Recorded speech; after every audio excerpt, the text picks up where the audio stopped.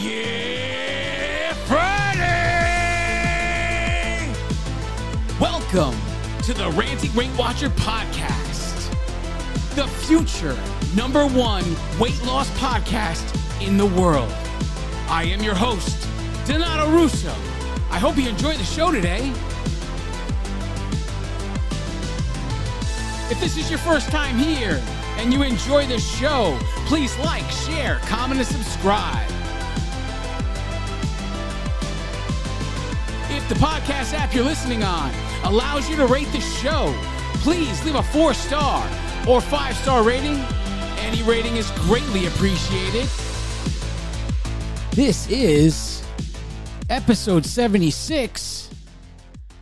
Let's not hold any back. Let's get into this.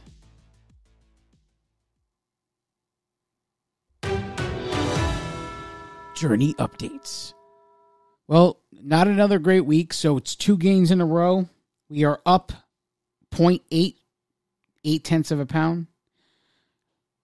And for the month of January, we are down 2.2 pounds. Total since January 12th, 2019, we are down 132.8 pounds remaining to get to milestone 150 is 17.2 pounds. Pounds remaining to get to milestone 175 is 42.2 pounds. And the pounds remaining to get to milestone 200, 67.2 pounds. Not a great week. If you've been listening to my episodes for any amount of time, you'll know my plan for gains. You'll know that I don't make any moves or any changes unless there are three consecutive gains. Right now, we're at number two. We're going to keep it steady for another week. And if we have a third gain, we're going to take a look at the situation and make some moves. But a, mo- a majority of people they make a move every time they have a gain. How do you really know what caused the gain if you don't write it out? Sometimes it's just an anomaly. And sometimes the scale went up for one week on one time you stepped on the scale and you really went crazy for no reason because the next week it came right off again. So sometimes it's best to wait it out because it's more valuable to be consistent in what you're doing than it is to make changes every time you think something is wrong. If you have the confidence in the work you put in, there's not going to be this need to make changes every time something doesn't go your way. So, something happened to me, I want to say right before, right after Christmas, right after Christmas, but before New Year's, something like that we had the homeowners association elections. I was the vice president on the board. Well, something went down at the election. Details don't really matter. I took a stand for what was right. And if anybody listening to the sound of my voice ever had to take a stand for what was right, you know that it is not a popular position to be in. When you are in the right and you're standing against what is easy, people don't like that you're standing it up standing up for it. It's just not a popular position to take. But I stood up for what I believed in. I met a level of anxiety dealing with this situation that I never I don't know if I never experienced it or hmm Now, I, I, I definitely never had anything like this happen in my life. But the anxiety anxiety I felt from the situation and from this whole position that I stood up for caused me to be in the position of on a Saturday morning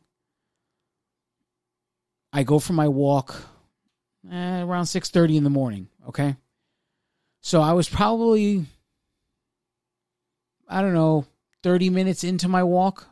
So say right around 7 a.m. It's daylight out and I'm thinking about the situation, I'm dwelling on it.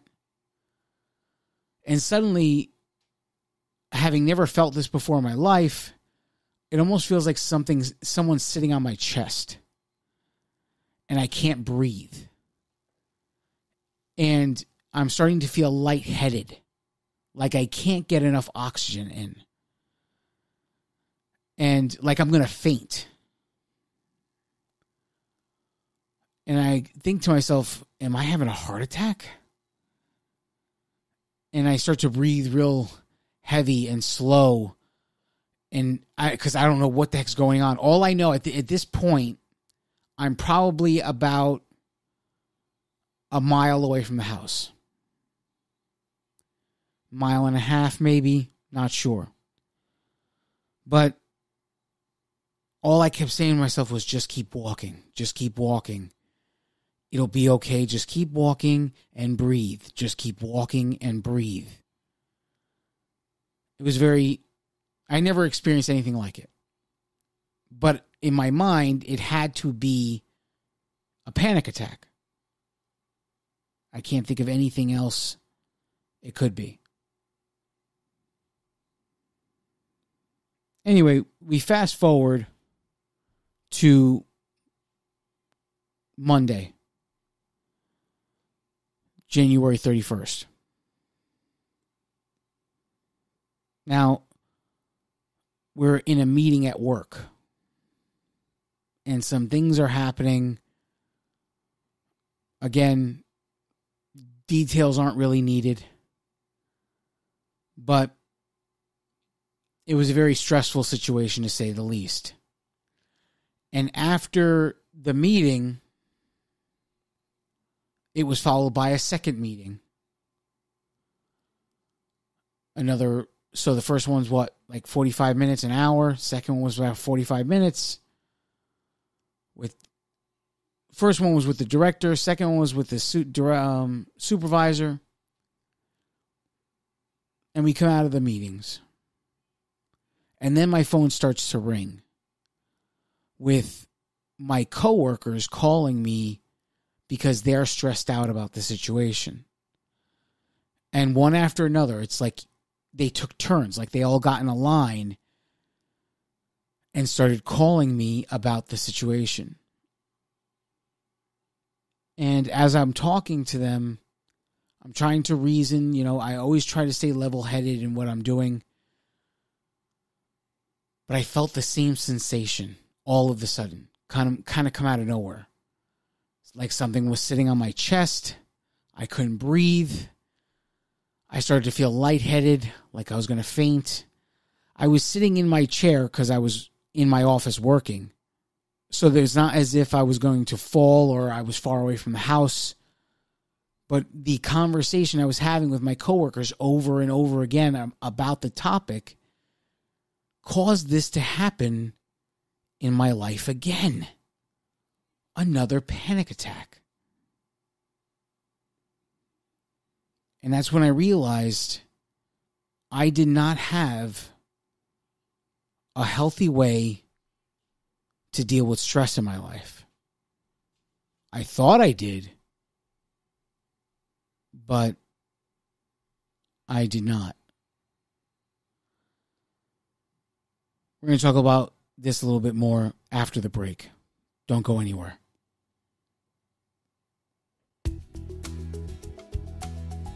Greetings, ladies and gentlemen. Thank you so much for listening to the Ranting Weight Watcher. If you would like to connect on social media, we would love to connect with you. On Facebook and Instagram, search for at the Ranting Weight Watcher. On Twitter, search for at the Ranting WW. On the Weight Watchers Connect app, search for at Ranting Weight Watcher. You can also email the show, say hello, or share your story with us. Send your emails to the Ranting Weight Watcher at gmail.com. You can also call the show and leave a voicemail message that could be played on the air. Just call 505 652 7268. Again, that's 505 652 7268. We look forward to hearing from you. If this is your first time here and you enjoyed the show, please like, share, comment, and subscribe. We are proud to announce that the Ranting Weight Watcher is now rated number 4 in FeedSpot.com's top 10 Weight Watchers podcasts. Click the link in the show's description if you wish to see the full list. If the podcast app you are listening with allows you to rate the show, please leave a 4 star or 5 star rating, whatever is in your heart to leave. Any rating is greatly appreciated. And now, without further delay, here is the star of the show, Donato Russo. Welcome back. So, in the first segment, I talked about some situations that I had happen in my life recently that have led to what I believe to be panic attacks. So I found this article in the Mayo Clinic.org website. I'm just going to read parts of it. I'm not going to read the whole thing. But a panic attack is a sudden episode of intense fear that triggers severe physical reactions when there is no real danger or apparent cause. Panic attacks can be very frightening. When panic attacks occur, you may you might think you're losing control, having a heart attack or even dying. Symptoms of a panic attack. Panic attacks typically begin suddenly without warning. They can strike at any time. When you're driving a car at the mall or sound asleep or in the middle of a business meeting. You may have an occasional panic attacks or they may occur frequently. Panic attacks typically include some of the signs some of these signs. A sense of impending doom or danger, fear of loss of control or death, rapid pounding heart rate, sweating, trembling, shortness of breath, tightness on your throat, chills, hot flashes, nausea, abdominal cramping, chest pain, headache, dizziness, lightheadedness, or faintness, numbness or a tingling sensation, or the feeling of unreality or detachment. I as I read these things I just realized how many of them I experienced. Not in the first one. I mean, I'm not in the second one, in the first one. I definitely looking at this list I definitely had a panic attack in both situations that occurred recently. This is definitely uncharted territory. I have never been in this position in my life. Now, why now? Why now? I'm trying to think like, what could be the reason I'm going through this now in my life? you know, I don't know, 10 years ago, right? Before I was ever in the Weight Watchers mindset, I would deal with stress by eating. I was definitely an emotional eater for sure. And since starting Weight Watchers, and uh, here I am three years in, and having within a month, eh, less than a month, I would say, or just about a month, it happens twice in 30 days. And the one thing different now than 10 years ago is that there's no outlet. There is no food to turn to. I didn't go for a walk on Monday, the day of the panic attack, the second one, because I was I became nervous that if I went for the walk, I would think about the situation and find myself in the exact same position I was however many weeks ago with the other situation. A mile away from the house and suddenly having this episode.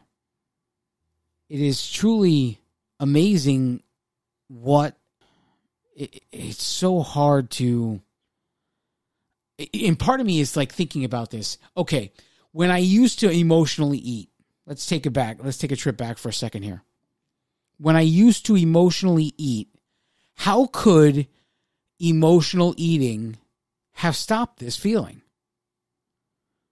is it possible that nothing in my life was ever this anxiety ridden you know and I'm just, am I cracking up? Am I going crazy here? And I can't handle stupid shit in my life?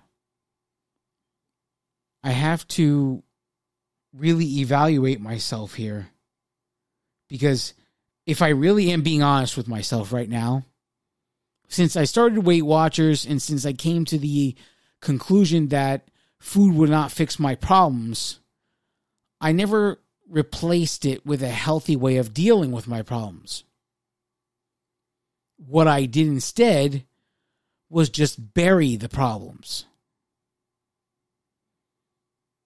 And if I had an issue and someone asked me what's wrong, ah, who who wants to hear about complaints anyway? No one wants to hear what you're going through. So I didn't say anything. Just say, "All right, I'm okay." And I, I mean, I don't know if I was lying to myself or what, but I did. I definitely felt okay. And then I come to this situation with the ele- election, dwelling on it, thinking about it constantly, losing sleep over it, resigning from the board to stand on my own beliefs in a situation that would make me very unpopular, causing this, causing this panic attack causing me to finally not to realize so two in one month's time and it's causing me to realize I do not have a healthy way to deal with stress. So how can I I don't even know. I, I how can I deal with stress in a healthy way? We're going to take another break. Don't go anywhere.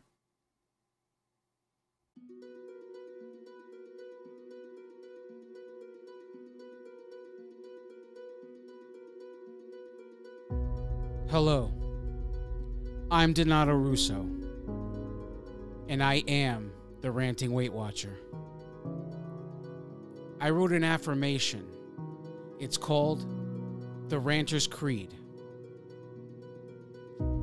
I dedicate that affirmation to all of you who are watching.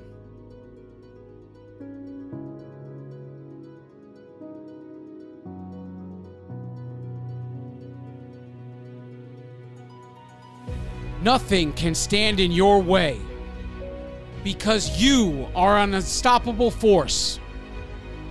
Your challenges crumble in your presence because you are so strong. Your insecurities no longer have power over your life because you are so confident. Your mistakes are your choices, and you are okay with this because you are so intelligent. The mirror and the scale no longer haunt you because you are so beautiful.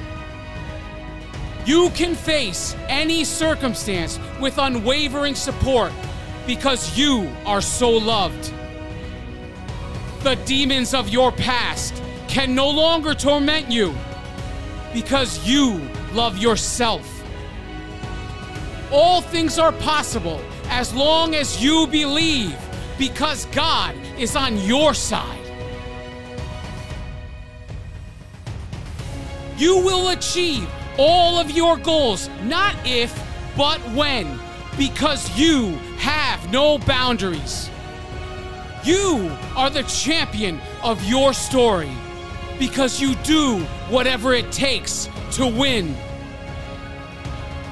No one can take what you've done away from you because you are the author and the hero of your story. Arise, champion. The victory is yours.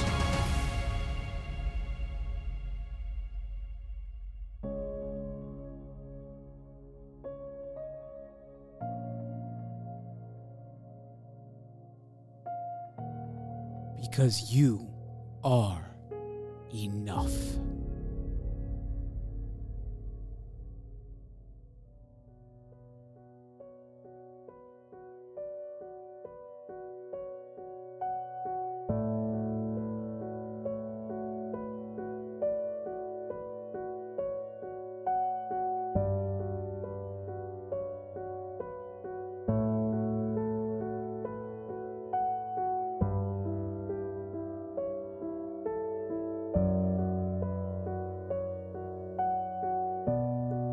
The Lord is my shepherd, I shall not want.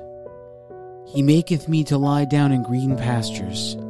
He leadeth me beside still waters. He restoreth my soul. He leadeth me in paths of righteousness for his name's sake. Yea, though I walk through the valley of the shadow of death, I will fear no evil, for thou art with me. Thy rod and thy staff, they comfort me. Thou preparest a table before me in the presence of mine enemies. Thou anointest my head with oil, my cup runneth over. Surely goodness and mercy shall follow me all the days of my life, and I will dwell in the house of the Lord forever. It is times like these that I turn back to what I was taught spiritually growing up. And that was Psalm 23 in the King James Bible.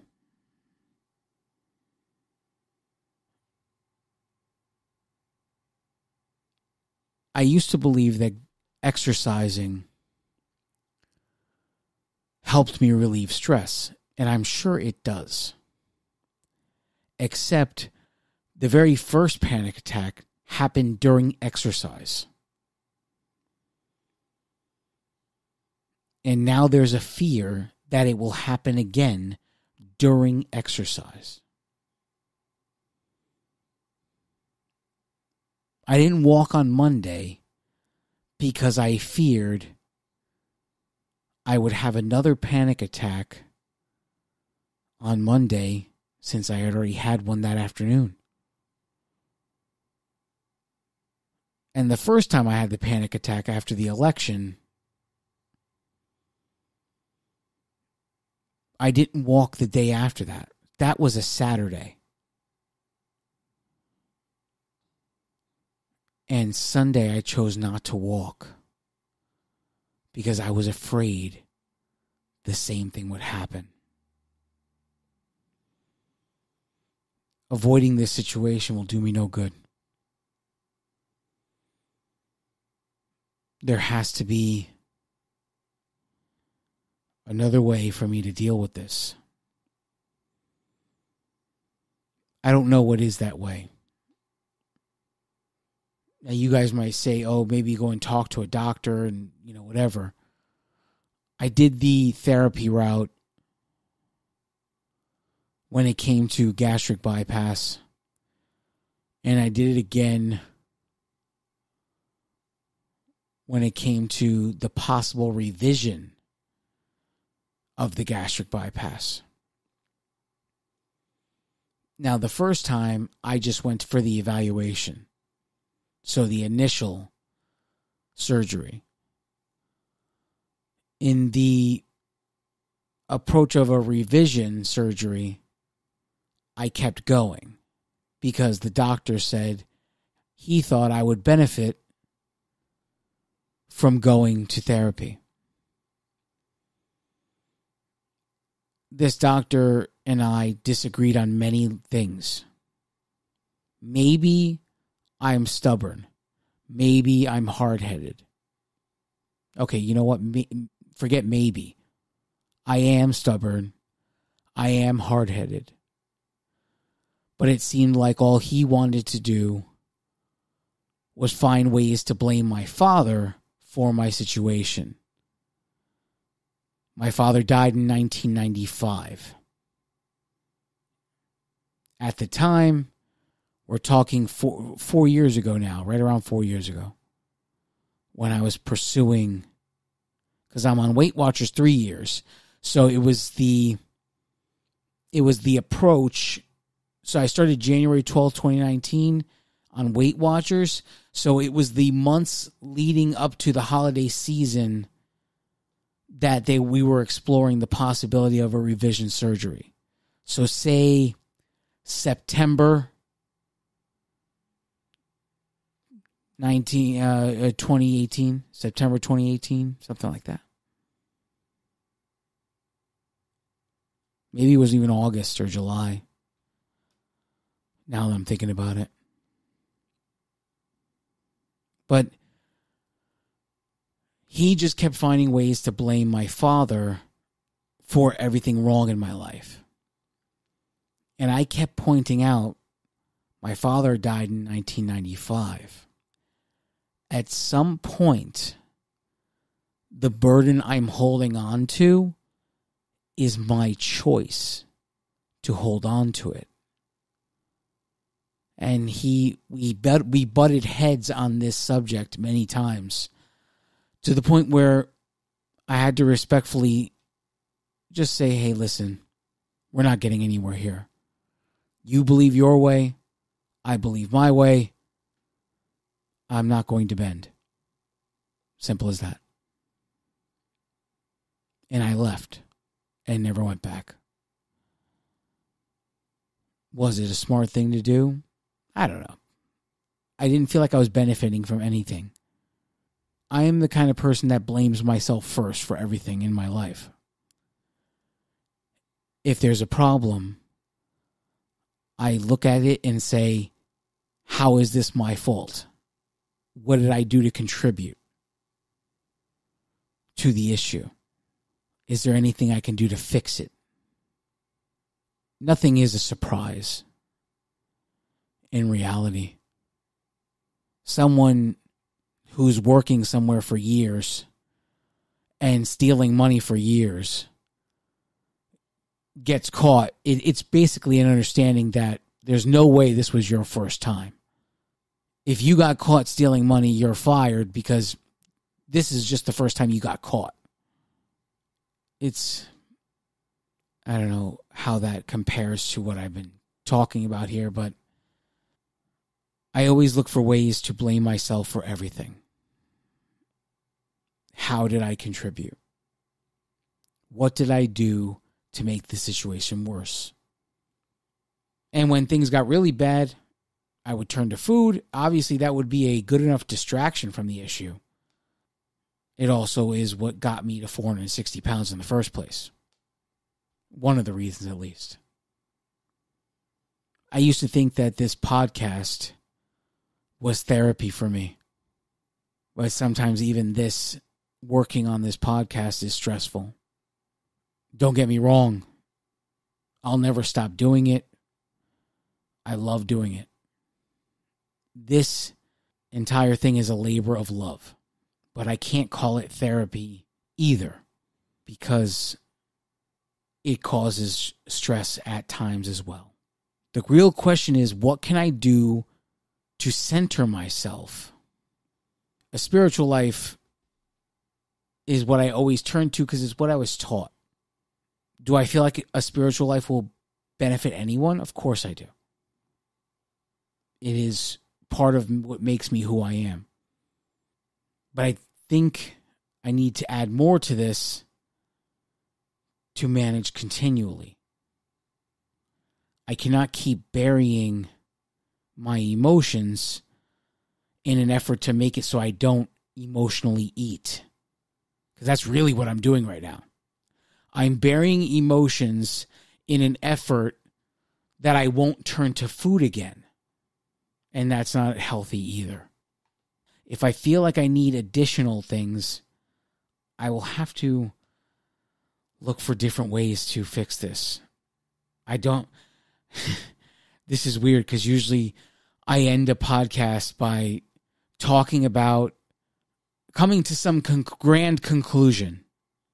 And here I am. I, I just basically showed you my wound and tell you I don't know how to fix it. That's what this episode is. Look, see the wound in my side. I don't know how to fix it. Maybe there's something to get from this. I'm sure I'm not alone. So tell me, how do you feel about your fearless leader now?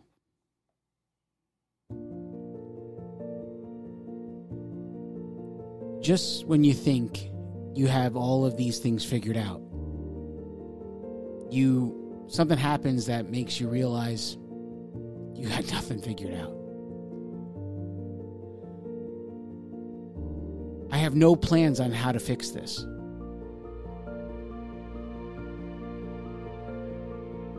I don't even know what to do. But the one thing I can say about all of this is not once, not for one second, not for one moment did I ever think that I needed food to cope with this situation. And if there is one thing to pull from this entire story, it's that. That after all of this time and battling emotional eating, I can say that for one huge situation that I ran into out of nowhere, emotional eating was the last thing on my mind to fix this situation.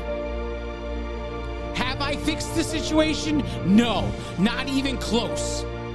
But here's the thing the I already won just for the fact that I didn't even think about food for half a second. For half a second, I didn't think about food.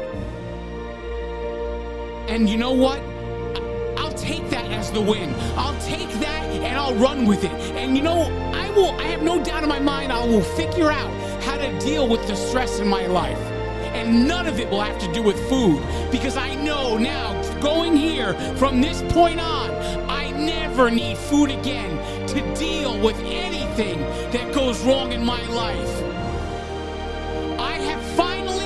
Over the idea that food will fix my problems. I have said it to you before food only fixes one problem starvation. And none of us, none of us are dealing with starvation.